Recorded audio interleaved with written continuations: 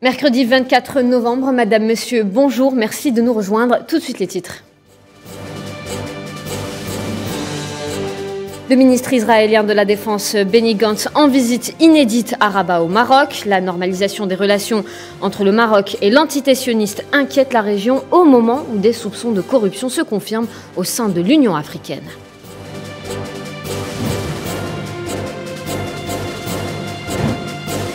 Démission de l'émissaire de l'ONU en Libye, la démission surprise de Jeanne Kubis annoncée par le porte-parole de l'ONU. Les détails dans cette émission.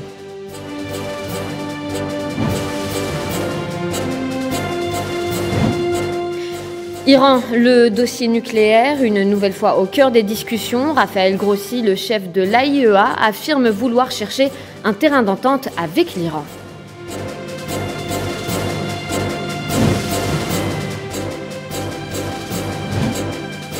En Birmanie, l'armée en crise, une situation liée à la défection des soldats, parmi eux plusieurs officiers.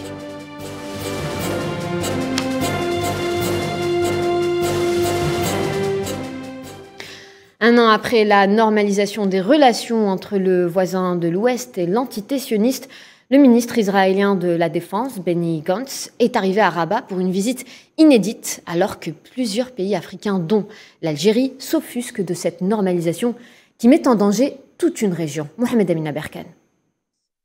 C'est une première visite d'un ministre de la Défense israélienne au Maroc depuis la normalisation du royaume de ses relations avec l'entité sioniste.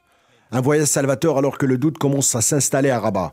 Le pays connaît une ébullition sur tous les fronts car les anti-normalisations commencent à hausser le temps. La visite formelle du ministre de la Défense israélien tombe à point nommé. Le Maroc se sent affaibli et esselé, tant sur le plan continental que sur le plan international. Il enchaîne les déboires et les échecs diplomatiques et compte beaucoup sur l'ennemi juré de tout un continent pour sortir la tête de l'eau. L'entité sioniste veut, à travers cette visite officielle à Madou et le reste des pays africains, une forme de message pour dire qu'elle a beaucoup à offrir à celui et à celle qui ouvrira ses portes pour une éventuelle normalisation. Et le Maroc en est une preuve vivante. Soutenu par l'administration de l'ex-président américain Donald Trump, le Maroc et son allié ont rétabli des relations en décembre 2020 dans le cadre des accords d'Abraham, processus de normalisation des relations qui a mis dans le bain plusieurs autres pays arabes, à cela s'ajoute la récente annonce faite par Ratio Petroleum, radio israélien, qui avait annoncé le mois de septembre un partenariat avec Rabat en violant une nouvelle fois les territoires sahraouis et annonce le début d'une longue exploration d'hydrocarbures au large de Dakhla. Pas que ça, l'entité est pour le Maroc l'un de ses principaux exportateurs de drones armés et de logiciels de sécurité comme le Pegasus de la société NSO, Pegasus a d'ailleurs aussi été retrouvé cet automne dans des téléphones portables de militants palestiniens pour dire que le Marseille ne compte pas s'arrêter là. Une coalition pro-palestinienne de partis et ONG de gauche ainsi que les islamistes du mouvement Justice et Bienfaisance sont appelés à une manifestation ce mercredi à Rabat pour fustiger la normalisation avec Israël et dénoncer la venue au Maroc du criminel de Gargantz, chef d'état-major lors de la guerre meurtrière de l'été 2014 à Gaza. Dans un contexte de tension, le Maroc tente de démontrer au monde, aux pays voisins et à sa propre population qu'ils continueront à approfondir leurs relations avec l'entité sioniste avec tout ce que cela implique, jusqu'à mettre en danger sa population. L'Algérie, premier pays dans la région à avoir rompu ses relations diplomatiques avec Rabat en raison d'actions hostiles du royaume, au moment où le Front Polisario a décidé vendredi d'intensifier sa lutte armée contre le colonisateur marocain. Maroc euh, toujours, avec cette affaire de corruption, le Maroc aurait payé cher son adhésion à l'Union africaine en versant des pots de vin colossaux à des diplomates africains avant son adhésion à cette institution. Plus de détails avec Sofiane Baroudi. Le Maroc épinglé pour corruption. Comme le montrent les révélations faites par MarocLeaks, l'adhésion du Royaume du Maroc à l'Union africaine en 2016 a été le résultat d'un procédé de lobbying dans lequel une campagne de corruption caractérisée a été au centre de la manœuvre.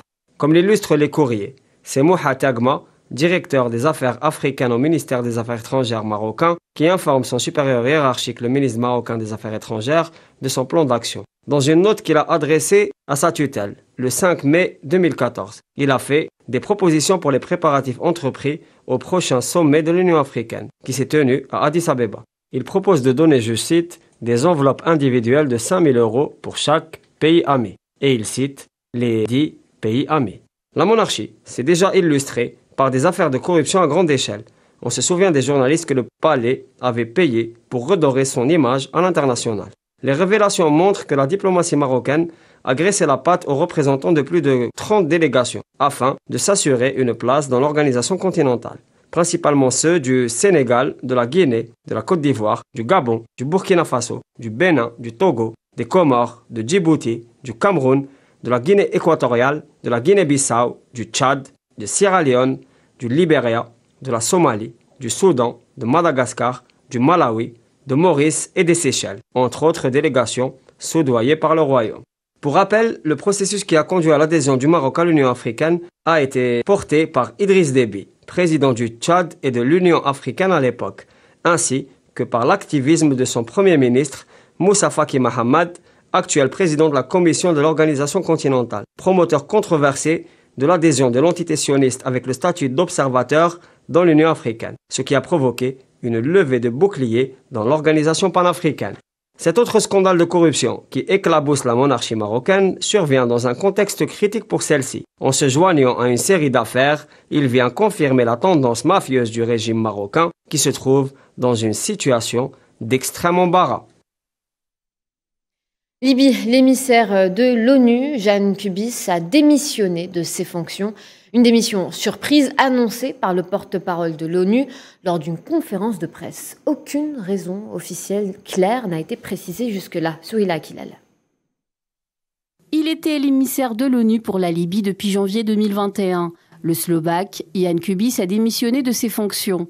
Cette décision soudaine et plutôt inattendue, confirmée par plusieurs sources diplomatiques, intervient à peine un mois avant la tenue d'élections présidentielles cruciales en Libye. À l'occasion d'une conférence de presse, Stéphane Dujarric, porte-parole de l'ONU, a indiqué que Yann Kubis a remis sa démission au secrétaire général Antonio Guterres sans donner de raison officielle claire. La date de départ effectif n'a cependant pas encore été arrêtée, mais le chef de l'ONU travaillerait à lui trouver un successeur, toujours selon le porte-parole de l'ONU. La configuration de la direction de la mission politique onusienne en Libye a divisé récemment le Conseil de sécurité de l'ONU. En effet, plusieurs membres du Conseil réclamaient que le poste d'émissaire soit redéployé de Genève à Tripoli, mais Yann Kubis y était réticent. La démission de l'émissaire de l'ONU en Libye intervient au lendemain de la clôture du dépôt des candidatures pour le prochain scrutin du 24 décembre, censé mettre fin à une décennie de crise politique et de violence dans le pays. Selon la Haute Commission électorale libyenne, 98 candidats, dont deux femmes, ont soumis un dossier pour l'élection présidentielle. Le mauvais timing de la démission de Yann Kubis risque-t-il d'avoir une incidence sur le bon déroulement du processus électoral en Libye? Une chose est sûre, les prochains jours seront décisifs. Clôture euh, du dépôt des candidatures euh, pour les présidentielles en Libye donc. Ils sont 98 à avoir déposé cette candidature, parmi eux Khalifa Haftar, Saif el-Islam el-Kadhafi et l'ex-ministre de l'Intérieur euh, Fathi Bashara et le chef du gouvernement intérimaire Abdelhamid Dbeibah. À quelques jours de l'élection, y aura-t-il un homme du consensus en Libye? Élément de réponse avec Leila Gartel. Il est vrai que sur les 98 candidats à la présidentielle, il est très difficile pour les Libyens de choisir leur candidat. La liste comporte plusieurs noms anonymes et méconnus sur la scène politique en Libye.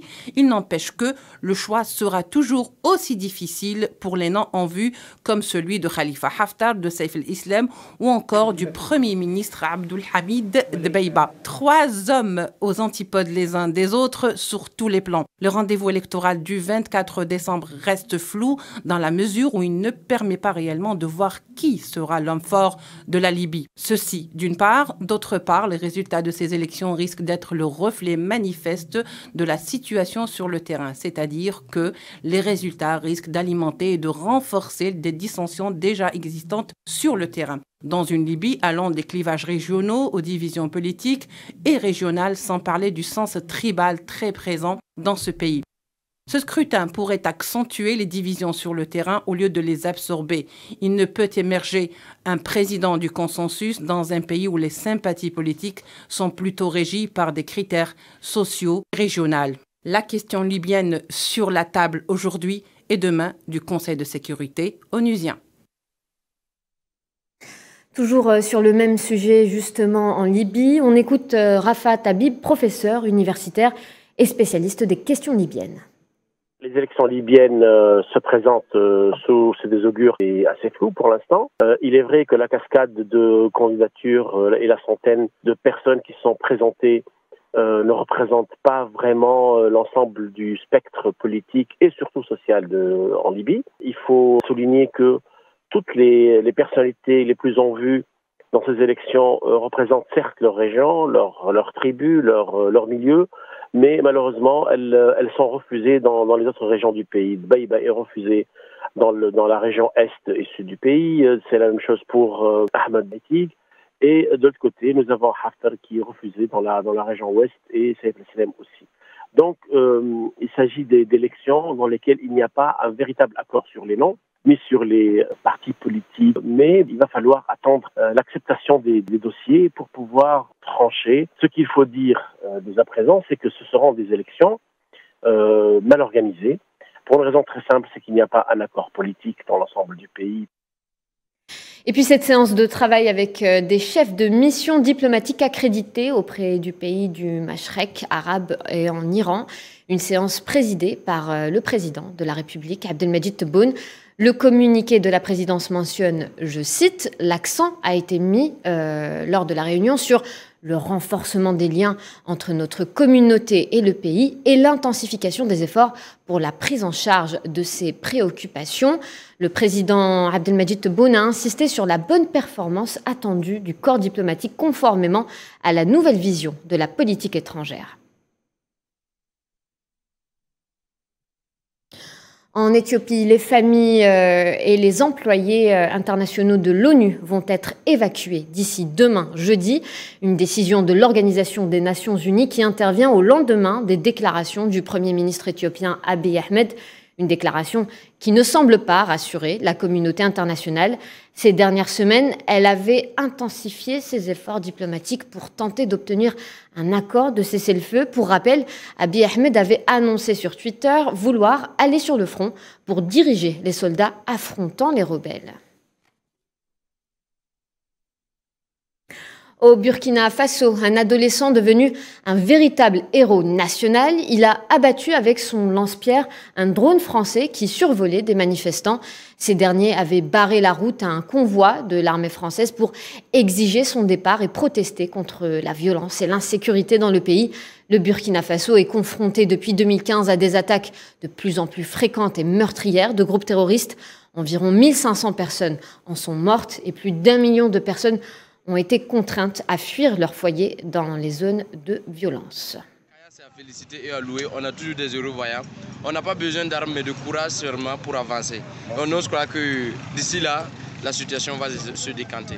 Merci, restez toujours connectés sur Josie la Merveille TV. En Syrie, quatre personnes ont été tuées, parmi lesquelles au moins deux civils dans des bombardements de l'entité sioniste. Sept autres personnes ont été blessées. Ces bombardements avaient pour cible des zones dans le centre du pays, à l'ouest de Homs, où sont basés des combattants fidèles au Hezbollah. C'est ce qu'a rapporté l'Observatoire syrien des droits de l'homme.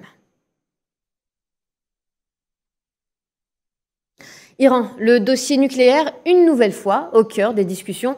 Raphaël Grossi, le chef de l'AIEA, a affirmé hier vouloir chercher un terrain d'entente avec l'Iran. Neila Hamouda nous en dit plus sur le sujet. Le dossier nucléaire iranien, une nouvelle fois sur la table des discussions entre l'Agence internationale de l'énergie atomique et les autorités iraniennes. En visite à Téhéran, Raphaël Grossi, le chef de l'AIEA, a affirmé mardi vouloir chercher un terrain d'entente avec l'Iran. Une visite qui intervient à une semaine de la reprise à Vienne avec les grandes puissances de négociation cruciales de l'accord sur le nucléaire suspendu depuis juin dernier. De son côté, le porte-parole de la diplomatie iranienne, Sarid Khatibzada, a souhaité une réunion constructive avec le gendarme onusien du nucléaire. Nous espérons que la visite de Raphaël Grossi sera aussi constructive que les précédentes. Nous avons toujours conseillé l'AIEA de rester sur la voie de la coopération technique et de ne pas laisser certains pays poursuivre leurs objectifs politiques au nom de l'agence. Le déplacement de Raphaël Grossi intervient après que l'AIEA a fait état mercredi dernier d'une nette augmentation du stock d'uranium hautement enrichi par Téhéran en riposte au rétablissement en 2018 des sanctions par Washington. Pour rappel, les États-Unis ont quitté unilatéralement l'accord en 2018 sous la présidence de Donald Trump et rétabli leurs sanctions contre Téhéran accusé de chercher à se doter de l'arme anatomique sous couvert de programmes nucléaires civils. En contrepartie, l'Iran, dément avoir de telles intentions, a progressivement abandonné ses engagements. L'actuel président américain Joe Biden, quant à lui, s'est dit prêt à revenir dans le pacte à condition que l'Iran renoue parallèlement avec les restrictions à son programme nucléaire. Au Yémen, la guerre risque de faire au moins 377 000 morts d'ici fin 2021 selon l'ONU. Ce conflit, qui a débuté il y a près de sept ans, a fait perdre à l'économie du pays 126 milliards de dollars. C'est ce qui ressort du rapport publié par le Programme des Nations Unies pour le développement. Le rapport onusien a fait savoir que dans l'enfer du Yémen, un enfant yéménite de moins de 5 ans meurt toutes les 9 minutes à cause du conflit. Il faut noter que 80% de la population d'environ 30 millions de personnes dépend de l'aide pour survivre dans la pire crise humanitaire au monde, toujours selon les Nations Unies. Aux Antilles, la gangrène s'est installée, la colère prend de l'ampleur à la Martinique. Les barrages continuent de se dresser sur les routes de Guadeloupe. La mobilisation contre les mesures sanitaires dénonce la détresse économique qui touche les habitants de l'île. Le Premier ministre Jean Castex a joué la carte de l'apaisement en restant positif. Il a déclaré vouloir créer une instance de dialogue pour convaincre et accompagner individuellement, humainement, les professionnels euh, de santé vers la vaccination. En France, le ministre de la Santé Olivier Véran annonce 30 000 nouveaux cas en 24 heures. Le ministre déclare, je cite, une hausse très importante qui atteste qu'on est dans une cinquième vague épidémique. Fin de citation. Le Conseil de défense se réunira ce mercredi afin d'aborder le sujet du calendrier des rappels. L'épidémie s'accélère dans l'Hexagone. On note que le Premier ministre Jean Castex a été testé positif plus tôt cette semaine.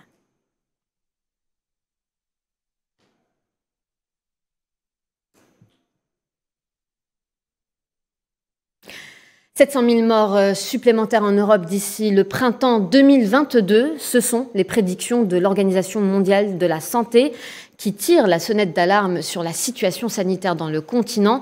Pour l'OMS, l'augmentation des cas s'explique par la combinaison d'une couverture vaccinale insuffisante, de la prévalence du variant Delta hautement contagieux et de l'assouplissement des mesures anti-Covid-19.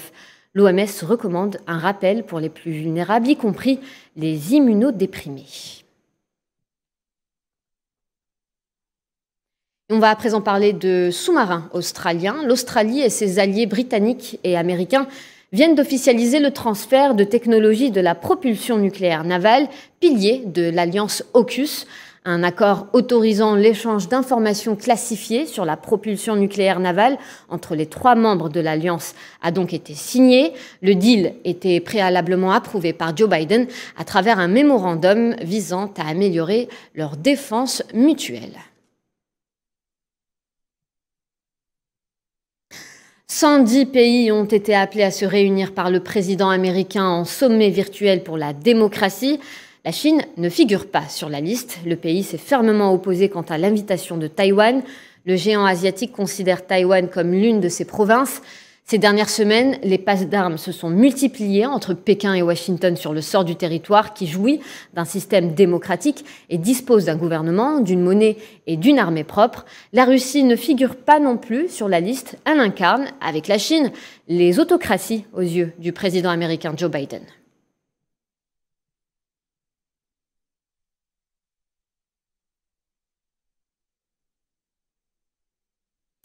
Aux États-Unis, l'une des filles de Malcolm X a été retrouvée morte chez elle euh, lundi à New York. Elle avait 56 ans. La police a annoncé ne pas se diriger vers une piste criminelle. Une autopsie doit toutefois confirmer les causes de son décès. Pour rappel, l'affaire du meurtre de Malcolm X a refait la une la semaine dernière. La justice de New York s'apprêtant à innocenter deux hommes condamnés pour son assassinat. En Afghanistan, de nouvelles discussions sont prévues entre l'émissaire spécial américain Tom West et les talibans. Ces réunions sont prévues la semaine prochaine à Doha, au Qatar. Ils aborderont notamment les questions de la lutte contre le terrorisme, de l'aide humanitaire, ainsi que de la situation économique du pays. En Asie du Sud-Est, l'armée birmane connaît une situation de crise liée à la défection de soldats parmi eux. Plusieurs officiers, le junte militaire du pays a pris les rênes du pouvoir depuis février 2021, date du renversement de la conseillère d'État Aung San Suu Kyi. Amin Depuis le coup d'État mené par l'armée birmane contre le régime de Aung San Suu Kyi et la dissolution du Parlement au mois de février 2021, le nombre de soldats déserteurs de l'armée birmane ne cesse de s'accroître. Certains médias occidentaux parlent de 2000 soldats qui ont fait défection de leur régiment, une situation qui a affecté le moral des troupes, parmi eux un nombre important d'officiers engagés, selon les mêmes sources. Devant ce développement sans précédent, les responsables de l'armée birmane ont dû appeler en renfort les militaires en retraite et le lancement des campagnes de recrutement afin de combler le vide laissé par les déserteurs. Conformément aux analyses de plusieurs observateurs, cette conjoncture n'a jamais été vécue en Birmanie depuis la fin des années 60. Avant le renversement du régime alindé au début d'année par la junte militaire, ce pays d'Asie du Sud-Est a connu un exode massif de la communauté des musulmans rohingyas, victimes de persécutions dans l'État d'Arakan depuis 2012 au moment où le monde a décerné le prix Nobel de la paix à Aung San Suu Kyi. Plus de 800 000 Rohingyas ont trouvé refuge dans les pays voisins, principalement le Bangladesh. Plusieurs autres milliers ont été tués dans des conditions atroces. Économie, rationaliser la consommation du gaz et de l'électricité, préserver les ressources énergétiques en allant vers l'utilisation des énergies renouvelables, le gouvernement algérien se, penche plutôt sérieusement sur la question. Le président Abdelmadjid Tebboune l'a bien précisé lors du dernier Conseil des ministres en, donnant des directives, comme par exemple le fait que toutes les municipalités dans le pays doivent utiliser l'énergie solaire pour euh, l'éclairage public. Commentaire de Mohamed Wali Ben.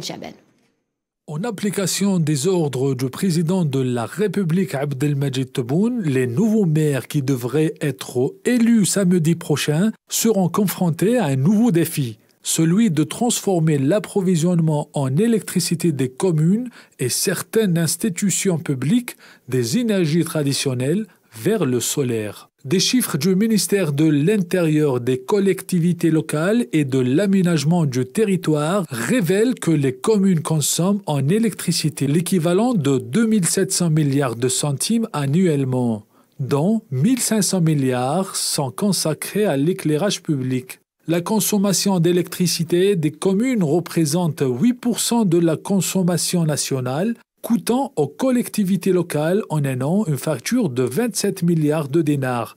La consommation dirigée vers l'éclairage, qui s'effectue à travers 3,2 millions de poteaux électriques, consomme 2,8 milliards de kilowattheures, soit l'équivalent de 15 milliards de dinars par an, ce qui représente 60% de la consommation d'électricité municipale. Les écoles primaires, estimées à 19 500 établissements, consomment 0,3 milliards de kilowattheures par an, soit 6,2% de l'électricité consommée.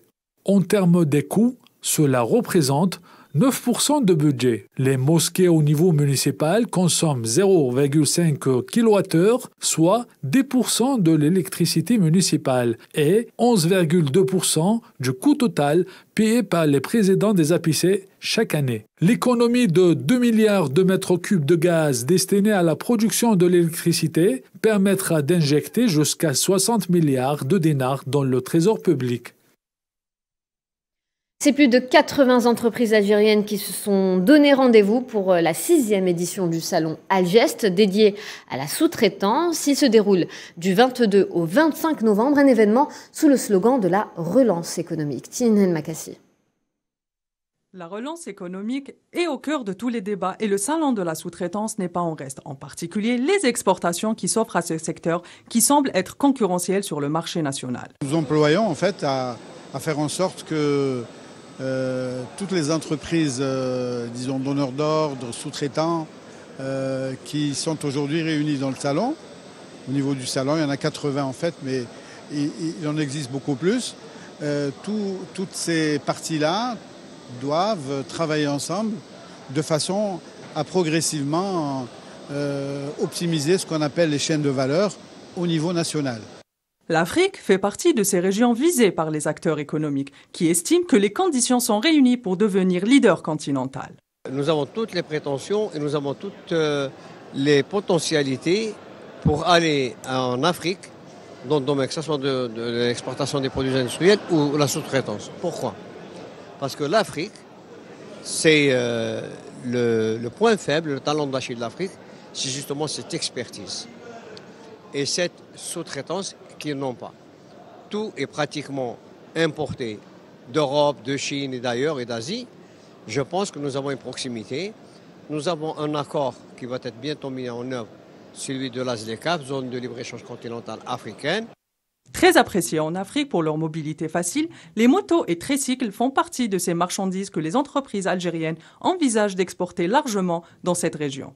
Effectivement, l'industrie algérienne a développé un savoir-faire grâce à ses collaborations avec nos partenaires internationaux pour développer l'industrie du motocycle en Algérie, notamment sur la fabrication des châssis et de la partie métallique du tricycle.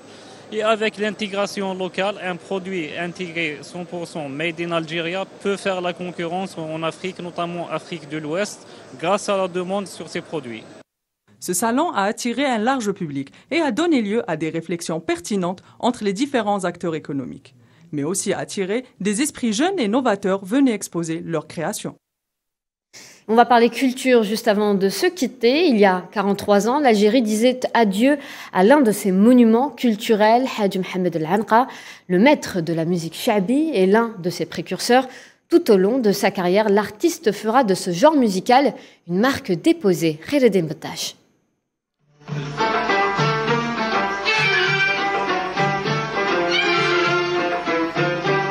Le 23 novembre 1978 est une triste date pour les amateurs de Shabi, qui ce jour-là perdaient l'une de ses plus hautes tourelles. Le cardinal, Hajj Mohamed Al-Anqa, de son vrai nom Mohamed Idir Eitou Arab, tire sa révérence. Le digne successeur de Hajj Mustafa Nadour aura marqué de son empreinte et de sa voix suave toute une génération de mélomanes et d'amateurs de ce genre musical. Maître incontesté de la musique populaire algérienne, Hajj Mohamed Lanqa révolutionna le shabi en l'élevant au rang de fen, l'art, son art.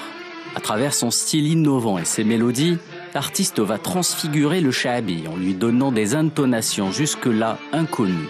Proclamé roi du shabi grâce à sa voix, Lanqa estimait que la musique n'a de sens qu'avec les paroles point de décantation entre ces deux piliers.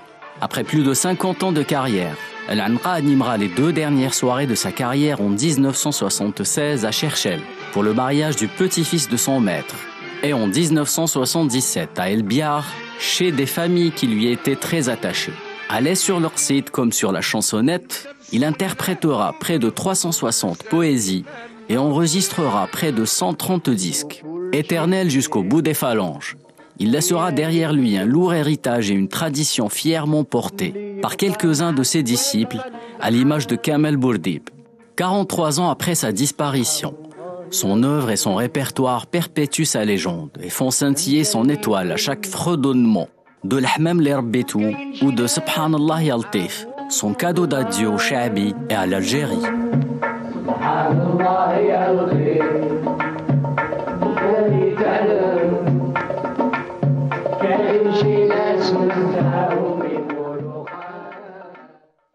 Voilà, c'est la fin de ce journal. Merci de votre attention. Tout de suite, un point météo avec Amel Amzienne Zitouni. Votre prochain rendez-vous de l'information, c'est ce soir à 19h avec Nabila Houssine. D'ici là, passez une excellente journée sur Al24